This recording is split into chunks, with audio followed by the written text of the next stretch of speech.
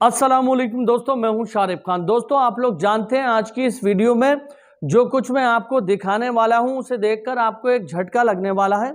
आज की इस वीडियो में एक बहुत बड़े पत्रकार की मेहनत, समय और रिसर्च लगी हुई है। ये वीडियो इस्लाम धर्म से संबंधित है, मुस्लिम समाज के व्यक्तियों से संबंधित है। चार जून को जब तीसरी बार भारत के प्रधानमंत्री नरेंद्र मोदी जी ने शपथ ली थी तो ये कहा जा रहा था कि इस बार एनडीए के साथ साथ विपक्ष भी बहुत मज़बूत है।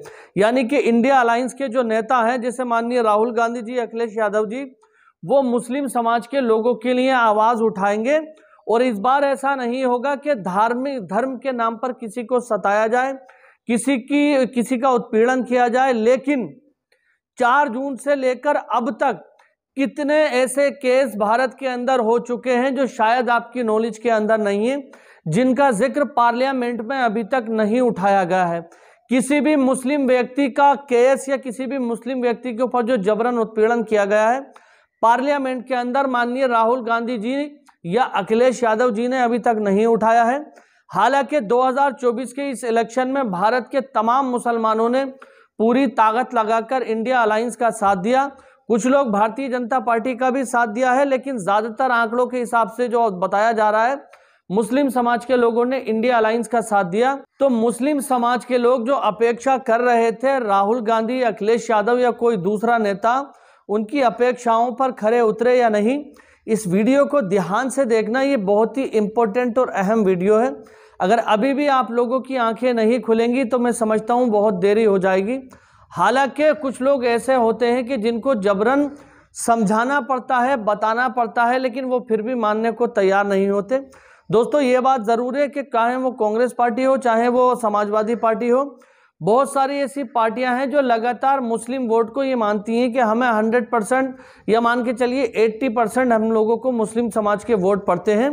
तो क्या 80 प्रतिशत जैसे मुसलमान उनको वोट देते हैं उसके हिसाब से ये पार्टियाँ मुसलमानों का एहसान चुकाती हैं? अगर मुस्लिम समाज के लोग इनको वोट देते हैं तो इनके ऊपर एहसान करते हैं? तो क्या ये लोग मुस्लिम समाज के लोगों के एहसान का बदला चुकाते हैं? इस वीडियो में आप देखेंगे तो ध्यान से देखना। आप शुरू करते हैं वीडियो। अगर आपको यह लग रहा था कि बहुमत से दूर रह जाने की वजह से भारतीय जनता पार्टी अपनी जहरीली राजनीति को त्याग देगी तो आप गलत फहमी में थे। मगर आप जानते हैं, सबसे शॉकिंग बात यह कि भारतीय जनता पार्टी और उससे जुड़े संगठन जहरीली राजनीति कर रहे हैं और राहुल गांधी और अखिलेश यादव उस पर चुप्पी अख्तियार किए हुए हैं, उस पर पूरी तरह से खामोशी अख्तियार किए हुए हैं। मैं आपको बतलाना चाहूँगा कि 4 जून के बाद से, जब से प्रधानमंत्री तीसरी बार सत्ता में आए हैं, तब से अलग अलग राज्यों में मैं आपको बतलाना चाहूँगा कि कम से कम चार मुसलमानों को मौत के घाट उतार दिया गया है उत्तर प्रदेश और छत्तीसगढ़ में। इसके अलावा मध्य प्रदेश में बीफ, गोमांस रखने के आरोप में करीब एक दर्जन मुस्लिम घरों को तोड़ दिया गया है। इसके अलावा कई मुसलमानों को जेल में डाला गया है, वो भी नेशनल सिक्योरिटी एक्ट के अंतर्गत। बड़ा सवाल ये दोस्तों, क्या आपने राहुल गांधी को या अखिलेश यादव को इस पर कुछ कहते हुए सुना? बिल्कुल नहीं सुना। और मैं आपको बतलाता हूँ।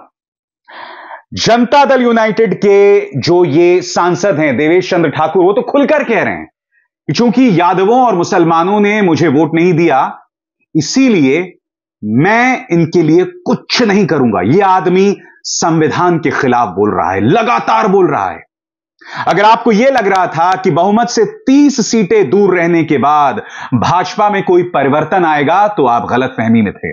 मगर सबसे शॉकिंग कांग्रेस, जिसे निन्यानवे सीटें मिली, पिछले बार के मुकाबले आपने बेहतर प्रदर्शन किया।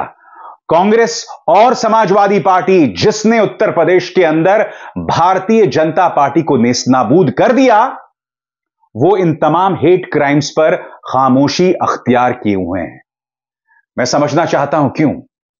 क्योंकि साफ़ तौर पर दिखाई दे रहा है दोस्तों कि भारतीय जनता पार्टी एक खास रणनीति के तहत उससे जुड़े नेता, उससे जुड़े संगठन जहरीली राजनीति को बढ़ावा दे रहे हैं। मसलन, मेढक में यह तस्वीर जहाँ एक डॉक्टर गिड़गिड़ा रहा है। मामला क्या है आप जानते हैं दोस्तों? एक मुसलमान भर्ती था अस्पताल के अंदर। करीब डेढ़ सौ लोग जो कि हिंदुत्ववादी हैं, वो पहुँच जाते हैं और डॉक्टर से कहते हैं कि उस मुसलमान को बाहर निकालो। और फिर वो डॉक्टर जो कि एक हिंदू है, किस तरह से उनके सामने गिड़गिड़ाता है, वो वीडियो देखिए। ఐటమ్స్ ఆగండి పేషెంట్ బయటకు పంపిస్తామని ఏ నా కొడుకు పిల్లడు సార్ ఏ నా కొడుకు పిల్లడు ఎవరు రాల్గొట్టిరు ఎవరు ఏం చేశారని నేను చెప్పాను కాకపోతే ఇది మాత్రం చాలా తప్పు సార్ హాస్పిటల్ మీద అటాక్ చేయడం మాత్రం చాలా తప్పు నేను రేపు ఈ విషయం మీద మెదడున్న आपके सामने टी राजा सिंह भी है दोस्तों यह भी खुलेआम कह रहा है कि हमने माहौल को भड़काया और पुलिस हमारा कुछ नहीं कर सकती और आप जानते हैं सबसे शॉकिंग ये घटनाएँ उन राज्यों में भी हो रही है, चाहे तेलंगाना हो या हिमाचल, जहाँ पर कांग्रेस की सरकार है। मैं समझना चाहता हूँ कि आखिर इस मुद्दे पर राहुल गांधी खामोश क्यों हैं। मैं आपको बतलाता हूँ, कल राहुल गांधी ने एक लंबा चौड़ा बयान दिया। उन्होंने कहा कि मोदी सरकार के पंद्रह दिन और इन पंद्रह दिनों में ये दस नाकामियाँ हैं। मगर यहाँ पर राहुल गांधी ने कहीं पर भी हेट क्राइम्स का ज़िक्र नहीं किया, मॉब लिंचिंग का ज़िक्र नहीं किया। राहुल गांधी क्या कह रहे हैं आपके स्क्रीन पर? एनडीए के पहले पंद्रह दिन। एक, भीषण ट्रेन दुर्घटना। दो, कश्मीर में आतंकवादी हमले। तीन, ट्रेन में यात्रियों की दुर्दशा। चार, नीट घोटाला। पाँच, नीट पीजी निरस्त। छह यूजीसी नेट का पेपर लीक। सात, दूध, दाल, गैस, टोल और महँगे। आठ, आग से धधकते जंगल। नौ, जल संकट। दस हीट वेव में इंतज़ाम ना होने से मौतें। साइकोलॉजिकली बैकफुट पर नरेंद्र मोदी बस अपनी सरकार बचाने में व्यस्त हैं। मैं राहुल गांधी से पूछना चाहता हूँ। राहुल जी, आप तो डरो मत की बात कर रहे हैं। इस वक्त सोशल मीडिया पर कई जो मुसलमान हैं, वो राहुल गांधी से अपील कर रहे हैं कि राहुल गांधी जब आप कहते हैं डरो मत तो ये जो तमाम हेट क्राइम्स चल रहे हैं जिसमें मुसलमानों को टारगेट किया जा रहा है, आप इस पर खामोश क्यों हैं? ये सवाल किया जाएगा। आरजेडी के सांसद क्या कहते हैं मैं आपको बताता हूँ अंग्रेज़ी में बयान है फिर मैं उसका हिंदी में अनुवाद करूँगा मनोज झा कहते हैं those who believe that Modi three या NDA three shall have a new operating system should rethink the mob lynching of Muslims have started with more of vengeance in several states as if to teach them a lesson for voting in favor of a secular democratic India, it must be challenged.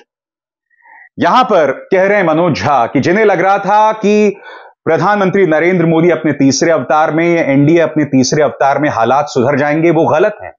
क्योंकि साफ़ तौर पर दिखाई दे रहा है कि mob lynching मुसलमानों की है, वो कई राज्यों में शुरू हो गई है। मानो उन्हें सबक सिखाया जा रहा है कि उन्होंने भाजपा के खिलाफ वोट किया था। इसे चुनौती दी जानी चाहिए, ऐसा कह रहे हैं आरजेडी के जो सांसद हैं मनोज झा। मगर यह सवाल उठना चाहिए, आखिर क्या वजह है कि राहुल गांधी इस मुद्दे पर खामोश हैं? राहुल गांधी संविधान का मुद्दा उठा रहे हैं, मगर मैं आपसे सवाल पूछना चाहता हूँ। कानून की धज्जियाँ उड़ाकर अगर एक मुसलमान को गिरफ़्तार किया जाता है, या एक मॉब लिंचिंग हो रही है जिसको लेकर बाकायदा एक कानून है तो क्या वो संविधान की धज्जियाँ उड़ाना नहीं है? याद कीजिएगा, कल राहुल गांधी ने पत्रकारों से बात करते हुए क्या कहा कि हम संविधान बचाने आए मैं राहुल गांधी से पूछना चाहता हूँ। राहुल जी, जो मैंने आपको तमाम मिसालें बताई, जिसमें मुसलमानों की मॉब लिंचिंग शुरू हो गई है, उग्र तेवर, भाजपा से जुड़े नेता, उनके संगठन अपना रहे हैं। इस पर आपकी खामोशी क्यों है? क्यों नहीं आप इस मुद्दे पर कुछ कहते? यह सवाल उठना चाहिए। और यह सवाल बहुत वाजिब है।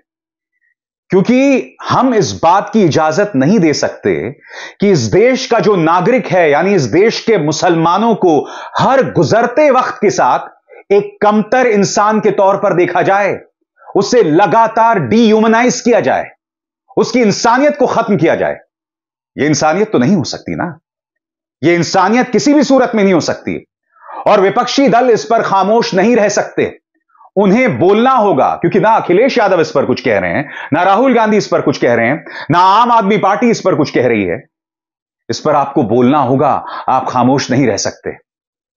क्योंकि आखिरकार इस देश की माइनॉरिटीज इस देश के मुसलमान हैं, हम जानते हैं। चुनावों के दौरान प्रधानमंत्री ने उन्हें घुसपैठिया बताया था।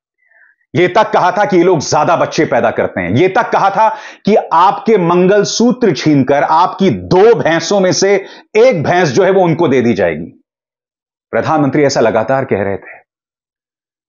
और इस राजनीति का उन्हें कोई बहुत फ़ायदा भी नहीं हुआ, क्योंकि उत्तर प्रदेश ने भाजपा को एक करारा तमाचा मारा था। करारा तमाचा मारा था। आपको मुद्दे पर बने रहना है, आपको बेरोजगारी, महँगाई पर सवाल करना है, मगर अगर इस देश के नागरिकों को इस तरह से टारगेट किया जाएगा तो उस पर भी आपको बोलना चाहिए। तो दोस्तों उम्मीद करता हूँ अभिसार शर्मा की इस वीडियो को देखकर इनकी रिपोर्ट को देखकर आप, आप काफ़ी कुछ समझ चुके होंगे कि भारत के अंदर चल क्या रहा है। जब वोट लेने का समय होता है तो हर कोई मुस्लिम समाज के लोगों की तरफ़ देखता है। हर कोई दलित समाज के लोगों की तरफ़ देखता है। हर कोई एस सी के लोगों को अपने साथ मिलाना चाहता है। माइनॉरिटी के लोगों को अपने साथ मिलाना चाहता है।